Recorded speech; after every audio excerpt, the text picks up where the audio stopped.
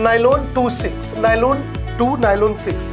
अब I hope आप इसको बहुत आसानी से गेस कर सकते हो।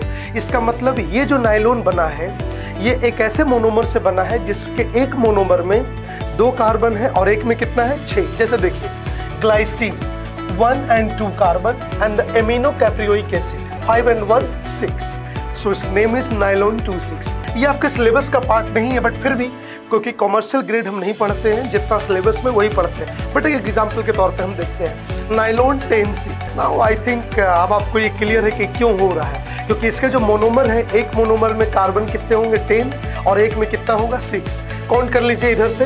One two three four five six seven eight nine and ten 10 carbon and in second part this is 1 2 3 4 5 and 6 so the nylon formed by this combination is termed as nylon 10 6